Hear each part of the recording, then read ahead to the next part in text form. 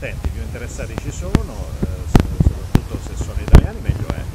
Dopodiché, come ho detto e ripetuto, bisogna essere molto accorti perché quello che conta sarà il progetto che il gruppo metterà in campo e lì diciamo, bisogna fare una valutazione molto attenta e rigorosa e nella speranza che appunto ThyssenKrupp